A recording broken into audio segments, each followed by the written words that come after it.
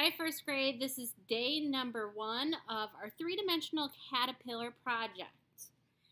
Today you will need, uh, let's see, one piece of paper. You're going to need two total, but you just need one piece of paper today. And you are going to go ahead and you're going to follow along with me with folding up your paper. We're going to color the caterpillar's body today. It won't look like a caterpillar until the very last day. All right, so you're going to take your paper, it's horizontal. You're going to fold it in half like a book. And then you're going to take your book and you're going to fold it in half. Again, when you open it up, you are going to have four spaces. So I lied. Um, I want you to have more than four spaces. So close the book back up. Go back on the creases so you have this small thing. Fold it one more time. So actually, when you open it up, you'll have one, two, three, four, five, six, seven, eight spaces, okay? I want you to choose three colors of your choice. Um, this is going to be for your caterpillar, keep in mind. It can be any colors you want. It doesn't have to be a realistic caterpillar. Keep in mind, later on, we will be doing a leaf. So if you're going to do your leaf green and you want your caterpillar green, maybe choose a different shade, if that makes sense. So I think for my caterpillar, I'm going to have a green, I'm going to have actually an orange, purple, and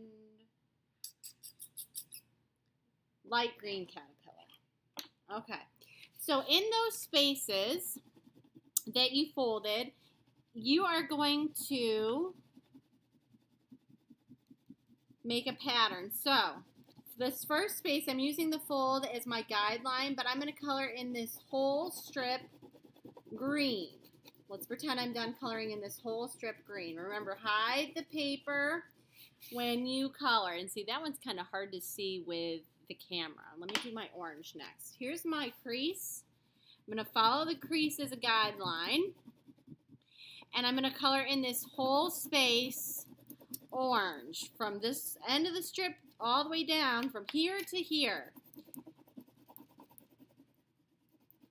You do not have to do these three colors that I'm doing. You can do any three you want. Okay, let's pretend I'm going to scribble scrabble this so you get the idea, but you're going to color it in nice and neat. All right, so this one's orange, so let's say this next one is going to be purple. So you're going to be making a ABC pattern for now. I'm scribble scrabbling. You're going to hide the paper when you're coloring. I'm just trying to speed it up so this video doesn't take forever. My project at the end will look nice. Okay, so I have purple, orange, or green, orange, purple, and then I'll do the same thing. I'll do green, and I'll use a little space, and I'm going to hide the paper when I color. Orange,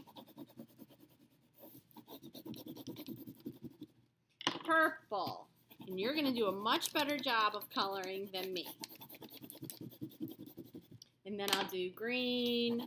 And then I don't have any room for my purple, but I have room for my orange. All right, you're not going to do anything else today except color in these spaces. Later on, we'll be cutting these out and it'll be part of our caterpillar. All right, friends, keep up the good work. I'm proud of you. Bye.